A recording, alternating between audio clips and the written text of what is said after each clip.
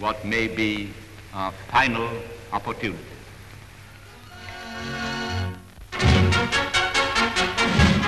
It was most unfortunate that the weather was so bad when some 15,000 people went to the Anfield Football Ground, Liverpool, to see the Featherweight Championship fight.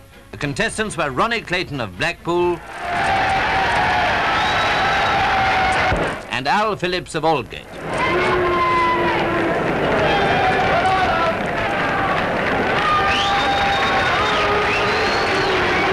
The match was for the British Empire and European featherweight titles held by Phillips and the British featherweight title vacated by Nel Tarleton.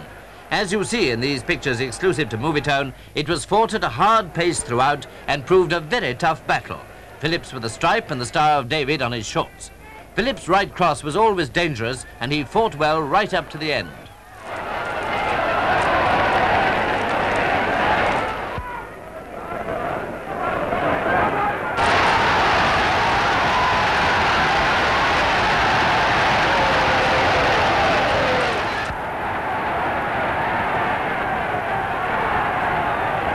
Clayton, in spite of a cut eyebrow, proved himself the faster puncher, and he did a lot of execution at close quarters. He had gained a clear lead by the 11th round, and although Phillips tried hard to come back in the next round or two, he just couldn't make it and was evidently tiring.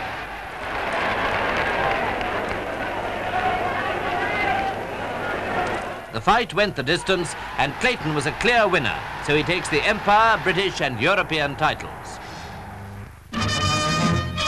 Here again, in exclusive Movietone pictures, are some